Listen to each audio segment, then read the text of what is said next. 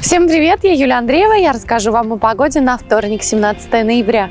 Мороз и солнце, день чудесный, примерно так можно описать погоду, которая ждет нас во вторник на территории области. В большинстве районов на нашей карте минус 10 и солнечно, это в дневные часы, за исключением севера. В северных районах, что удивительно, в Лузе и Кирсе чуть теплее, минус 5, минус 7 и тоже солнечно.